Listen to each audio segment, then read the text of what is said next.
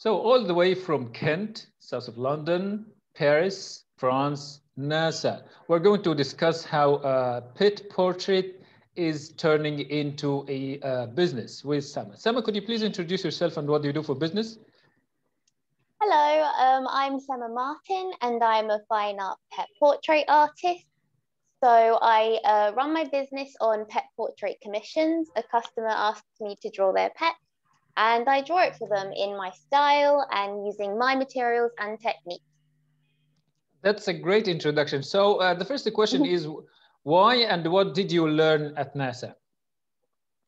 Okay, so I did a brief three month internship at NASA when I was uh, an aerospace engineer. So originally I didn't study art. Um, I went into aerospace engineering because I was really interested in space and aeronautics and that kind of thing. And I was told um, that art wasn't a career option, it was more of a hobby. So you should go into something that, like, you know, be a doctor or a lawyer or an engineer or, you know, those sort of things that society pushes on you. Those are the right career options, and art wasn't one of them. So at the time, I chose to be an engineer. Um, so I went on to study aerospace engineering, and then I later on studied um, at the International Space University in Strasbourg which was an amazing opportunity and I loved every second of it. Um, and studying there gave me the opportunity to do a three month internship at NASA Ames Research Center in California. Um, that was a, an amazing experience there. Um, I met so many incredible and intelligent people. Um, I was in charge of a small team of other interns um, and I helped them with their projects and this was their summer internships during their university degree. So I was helping them with their projects and um, making sure they were achieving their deadlines and things like that. Um, and then I was also doing my own project, which was um, learning some new simulation software, which they have, where you can create your own UAV dev- design, which is an unmanned air vehicle and then you can run simulations on it on different planets in the solar system. So I was doing one of uh, running simulations on Venus, which was really fun. That's really interesting. So my question yeah. is, is like really related. Why did you decide to leave this background of space and science and and, and business and then uh, go into art? Well, um, after my internship, I started my PhD um, I thought the next the next thing for me was a PhD. I wasn't really sure what I wanted to do after achieving two master's degrees. I was like, okay, what now? Okay, I'll do a PhD. Um, so I started my PhD, which is lasering of metallic powder for in situ resource utilization. So basically, I wanted to take a machine to the moon or to the surface of Mars, uh, use a laser to 3D print using the, the dust and the particles and the surface of that planet, put it into this 3D printer to produce materials and tools and that kind of thing. So that was the basis of my PhD. And I started doing that. But in the meantime, I started back up with my art. I was doing painting and drawing. And I just really loved it. Like it, it excited me more than the PhD and the engineering. Like it sounds really exciting with the engineering side and everything, but I just I was more passionate about the artwork and creating art. Um, so I decided to quit my PhD and launch full into the art business and selling my artwork because it just I felt like I got to the point with the engineering that I'd sort of done what I wanted to do. I did what I set out to achieve. I, you know, got my degrees. I worked for NASA. I started a PhD. I might finish it one day, but maybe not. um, yeah, and I just I just felt ready to do the next chapter of my life and really dig into my passion because I was so adamant that I could make art just as successful as career I was making my engineering career. So yeah, and that's what I've done, I think. Good job. So my question here, like, was your passion strong enough to stop you from pursuing uh, NASA and the astronautics and get into art? Um, yes. Like, you know, when people say, oh, they can't physically stop working. They love doing their work. They love their job. They go they go to work and then they come home and then they carry on working. That wasn't me when it came to engineering. I struggled to concentrate and do my work and I'm dyslexic. So I find it very difficult to read a lot of things. So, you know, reading and research isn't easy for me. And I've always, I didn't know I was dyslexic until I went to university and did a test. And then they told me, I was like, ah, so that's why I find it hard to read. Um, but yeah, so it was always a struggle for me. Engineering, you know, it was exciting. I loved it. I loved learning. I loved, you know, educational experience, but it was hard to keep up with the people that were passionate about it, that did it every second of every day, that read every article ever about that specific subject. Like I was, I didn't feel that way. But when it came to my art, I did. Like I physically couldn't stop drawing. I couldn't stop painting. I couldn't stop researching new techniques and new brands and new materials. Like I loved all of that. So it made sense that that's what I should be doing. You should do the thing that you can't stop thinking about. So yeah, and that's what I do now. Like I can't stop doing my business. That is great. Like getting to your business, what are the main characteristics of your art? So, specifically, I started my pet portrait commission business when people contact me wanting to draw um, their pet. So, um, I would, I've got an example here. This is an example of one of my pet portraits. Um, so, I specialize in color pencils. So, this is a color pencil drawing. Um, and, and then I put my own spin on it to really bring out the character and the soul of the pet. So here I've added like this really nice colorful warm background because this is a, um, I think it's a Corgi Australian Shepherd mix. And they're very excited and energetic and they're like really, really happy characters, as you can tell by his little grin. So I added this like really warm, um, happy background to really emphasize that character and soul of this pet um, and the customer was really happy with it. So and that's basically what i do for my pet portrait business. Um, i also sell prints and calendars as multiple streams of income and i've now started doing oil paintings so here i've started doing um, like botanical artwork really looking at lighting and color and i'm really trying to like master those old techniques um, by myself as a as a self-taught artist. I haven't really done any classes in it, but I'm trying it out myself. Uh, yeah. So my question here, like about your thinking about and your confidence in your art, like in the in the is it the same while through the journey and this moment where when we we can say that you are more a professional artist? Yeah, so when I first started my pet portrait business, this was back in 2016. Um, I wasn't as confident as I am now. So I was just like selling my artwork for, you know, 80 pounds for a huge one, like double this size was only 80 pounds. Um, and I wasn't confident in my materials yet. I only had like a small pack of pencils because that's all I could afford at the time. Um, and I was just saying yes to every inquiry because I needed the money to get started and I wasn't confident in like the process of commissions, like that communication with the customer. That's something I've learned over time, which is the most important thing about commissions because it's a really personal experience. You're not just drawing something and then trying to sell it.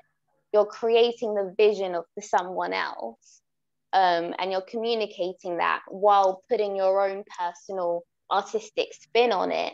To so it's your style and it's identifiable as you as the artist that's created it. So it's a lot of communication and a lot of um, dedication as well to really produce good quality pieces every time for each specific customer. And that's something that I've learned over time um, has been very important.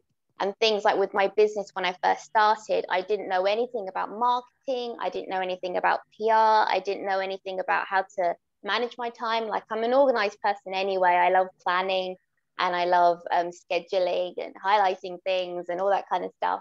Um, but I didn't really know, like in terms of creating artwork, one, you need to sort of be in the right mindset to create. You can't be stressed out. you can't feel overworked, you can't, you know, negative feelings don't help the creativity. So you need to like figure out how you're going to put yourself in that creative move mood every day in order to produce what you need to.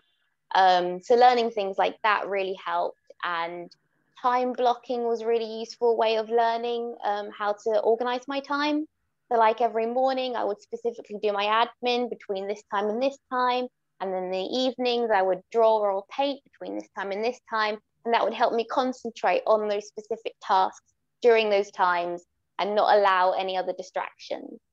So, um, and then I'm learning about marketing, how to do social media marketing and email marketing and all the different types. Like I've done a few courses on it um, just to really invest in my business and get it going to a point where it's, you know, running smoothly and then I can grow it um, to be a proper career, which I have done. It's my full time job. Um, it's how I make my living, and it's how I've been able to move to France. So yeah, it's um, it's going well. it is awesome. And then you decided to turn this into, uh, let's say, develop into another step and write a book. Yes. So now that I felt this time, it was about May last year. I felt like I had reached the point where I knew enough to start teaching how to start like knowing okay you know how do you even start a business how do you even start selling your artwork and i felt like i got to the point where i knew enough to tell people how to start it. I really wanted to promote that art is a real career and you can make money from selling your artwork like real money not just like hobby side hustle money. This is like real money full-time employment kind of situation. So I wrote this book, Art is My Career How to Start an Art Business, um, which is full of information and really organized with charts and it's all color coordinated because I love a bit of color coordination. Um, and I've basically put all the basics down for any creative. You don't even have to be an artist. Like my sister in law, who's a musician, also read this book and found it really useful for marketing her music. So it's based, it's all the basics that you need for run starting and running a business. And so I launched this May last year um, as this physical copy and an ebook that people can buy. And with it, um, I also included six downloadable documents to help people out. So there's like a social media checklist and a commission spreadsheet that they can fill in and a, a branding guidelines to help them really focus on their branding of their business and implement that. Um, and also with this book, they can um, be added to my Facebook community group where they can ask questions and talk to each other. And the community groups turn into a really lovely place for artists because art can be such a solitary career. Like you just sit down all day, not really talking to anyone or anything. So I wanted the group to be somewhere where artists can chat and make friends and have some sort of sounding board if they've got any new ideas, like, you know, put it out there and ask someone and talk to people and get feedback on, you know, I've just created this website, let me know what you think, that kind of thing. So it's been really helpful for artists, this Facebook community group, and I'm really proud of it. It's grown into exactly what I would have needed five years ago when I started. And that's what this book is. It's everything that I would have wanted to start reading before starting my business. So. Okay, of course, success does not come without a cost. Like, what the challenges are there in your business? Um, definitely when I started, things like you have to do make some sacrifices in terms of money and well especially money is the main thing like i quit my job and i only had like a month of savings to get us through the next month um, so we had to figure out quickly okay what are we going to do for money while my business is getting started? So we decided to move to a cheaper location to make sure all the outgoings were like literally as as low as it can go. So that was one of the sacrifices. We no longer lived in the city we lived in the countryside but it was cheaper and we had a bigger space for me to create my studio and to start really grow my business. So I guess it's a sacrifice. It's like a compromise, isn't it? You have to make compromises to grow um, your business.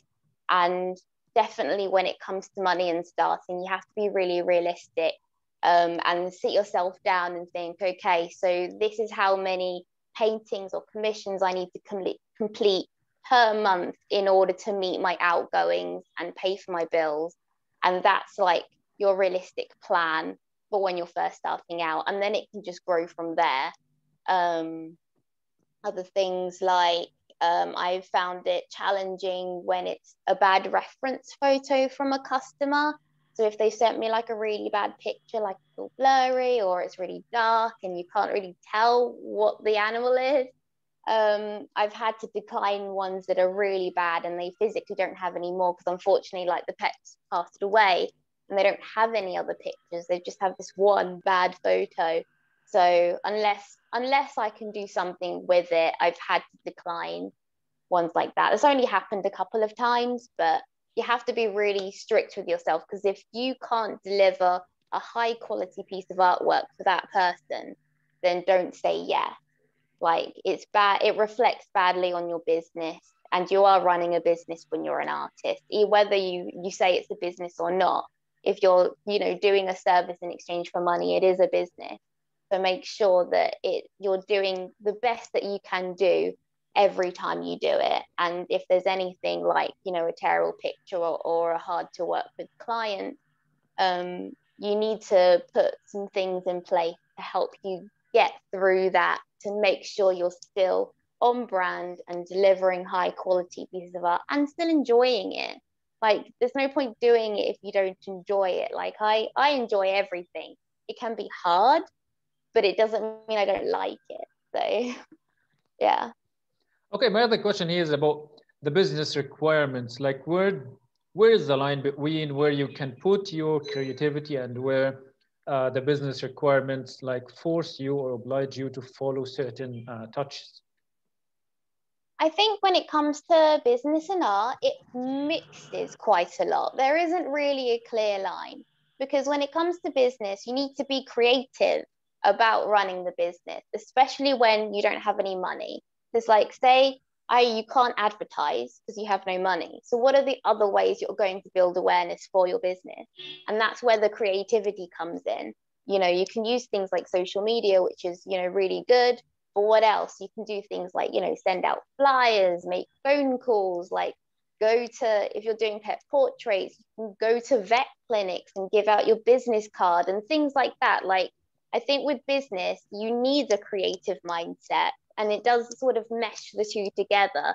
You need to be creative in order to do your business, but then you need to run your business in order to sell your creative hobby. So I do feel like they merge quite a lot. There isn't really a defined line there.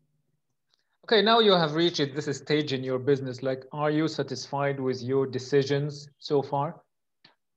Yes, I I think I've achieved more in the last five years than I did as an engineer. Um, you know, I, I achieved a lot as an engineer, but I'm so much happier now. And I feel like I'm really getting to know me and express, you know, my viewpoint of the world and express myself. And, and just, you know, I'm also doing things to help people, like doing pet portraits for people gives me a lot of satisfaction especially when you know their pets passed away or they've given it as a gift to someone like it means a lot to them and they're really grateful.